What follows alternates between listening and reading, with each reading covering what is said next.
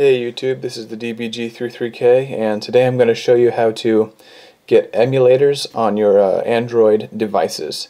Uh, I'm going to show you using a T-Mobile, uh, the Motorola CLIQ, um, using specifically uh, the SNESoid. Uh, so this is going to allow you to emulate Super Nintendo games. Alright, so first thing to need to do is go into the marketplace and search for this here SNES Oid.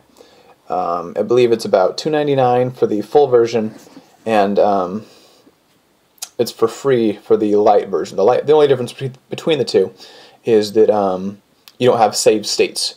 You can save your game if the game has a built-in save feature, but you can't save just like wherever you want. Oops. If uh, if the game itself wouldn't let you. Whereas if you get the Pro version, you can save at any moment you want, even like in a loading screen or something obscure like that.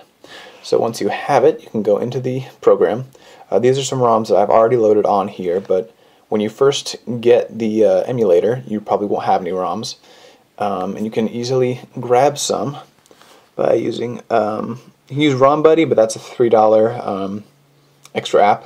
Um, but you can hit search ROMs, and it should take you um, to a site or you can search for specific ROMs.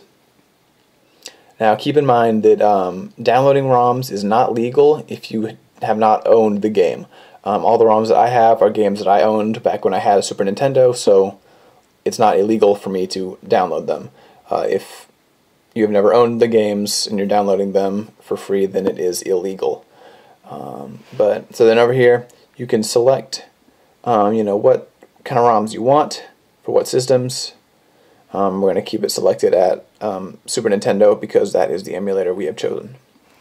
Um, I'm going to look for, I don't know, see if it comes up with any Dragon Ball games. Uh, that's an import game, but it should work the same. Search and then it'll do that for you. Okay, Let's see if I found anything. Hyperdimension, that sounds good. Um, now this doesn't just search one site, it actually is, um, it searches multiple sites, so it's not just going to look you know, in one database, it's going to look in the database of many sites, uh, which is nice. Because sometimes you'll find that certain sites have been, you know, notified, like, oh, um, you know, the creators of it were like, we don't like you doing this, so you have to stop or else we'll take the site down. So then they don't, you know, then they take it off their site. Um, whereas sometimes the copyright police don't get to other sites and that kind of stuff. So click here to start download. Go and save as that. It's a dot z uh, sorry 7z.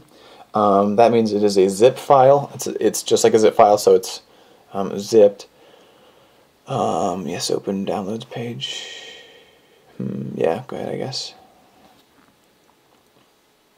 So that just shows me that it has downloaded and it's complete, uh, but it is in a uh, zipped folder.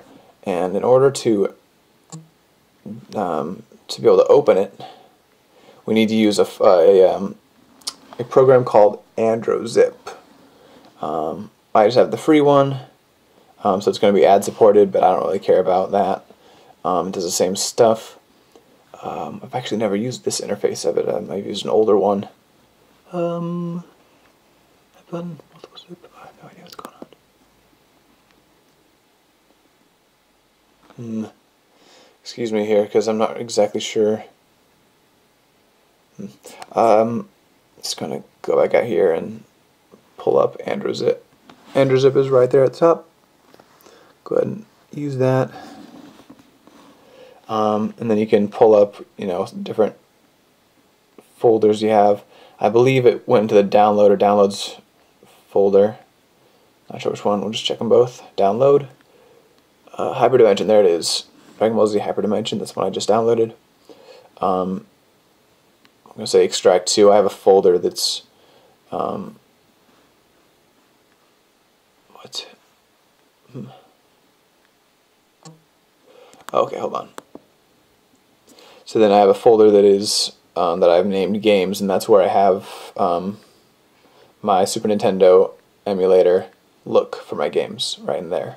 So extract here. So that's unpacking the the file. Um, please wait, please wait, please wait.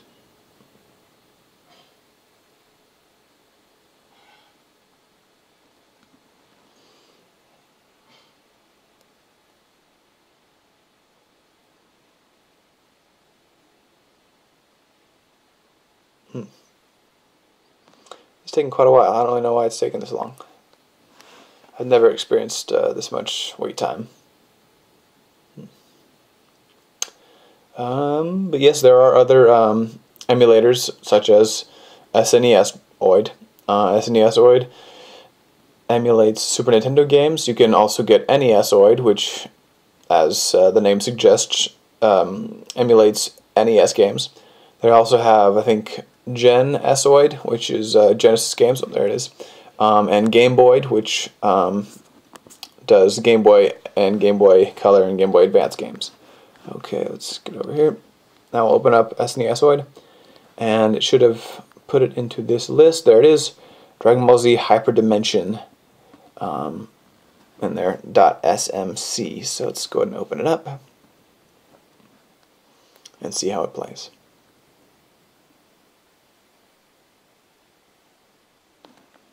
If it plays. Um, close. That might be the wrong file. Oh wow, gave me a couple of things.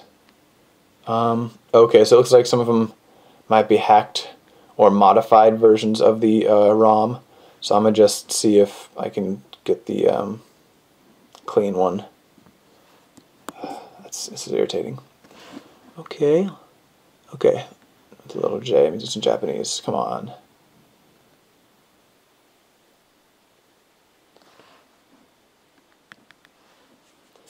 Alright. Not working, not working. no. Oops. Okay, well, so it looks like for this particular thing, come on, one more chance. Let's give one more chance to do this. Okay, it's looking like it's not wanting to work for this one. And that'll happen sometimes. Um, not all ROMs are um, created equal. Sometimes they don't work. Sometimes you have to go download them from a different site. Um, but I'll show you one that does work. Illusion of Gaia is a great game. Um, so it loads right up. Right now I have it set. So this is the game itself. Uh, I have it set to be almost full screen. You can set different settings for how much of the screen you want it to take up. Um, then you can go in your settings, have your load, save. Um, a new feature they have now is net play, so if you have any games that I guess they make it so you can play online, that's really cool. Um, here's some, go into the settings. Um, you can change the input settings, like so for the um, Motorola CLIQ, we have physical buttons. So I have it currently set to be be able to use the buttons um, in order to do stuff in the game. But for many of you uh, or Android users who have uh, just touchscreens, you can select virtual keypad and then it will put that on the screen itself. So, okay, so it's set to portrait mode. Um, there's also a way to set it to landscape mode. Um, let's see if I can't get that going. Settings, input.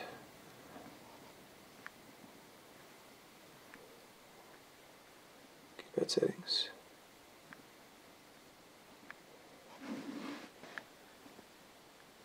Depend buttons layout.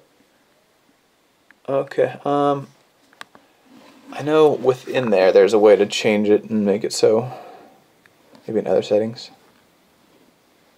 Orientation, there you go. Um, so, make it landscape, and then you can see that you can play it without using the keyboard. And you have your buttons up here to be able to move if you want, or press A. So like, oh.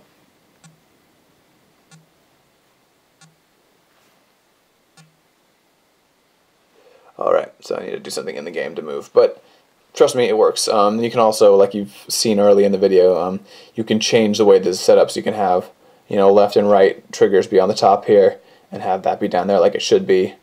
Um, that kind of stuff. Yep. But yeah, so that's my little inside look on the um, Super Nintendo emulator, SNESoid. Um, the other emulators work very similarly. Um, I'll put links, or maybe not links, but I'll put um, uh, you know the names of the programs you'll need in order to get these uh, to function. So thanks for watching YouTube. Talk to you later.